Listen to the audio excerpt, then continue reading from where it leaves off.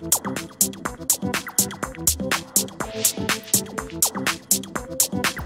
one is the love for it. Like, I really do love it. Like, that's the thing that I want to do.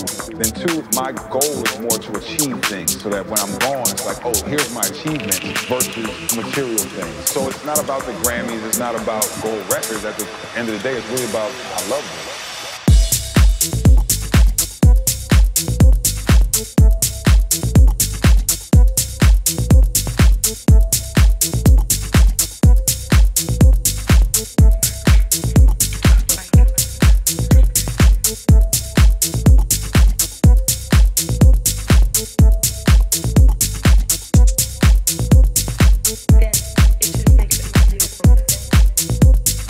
You.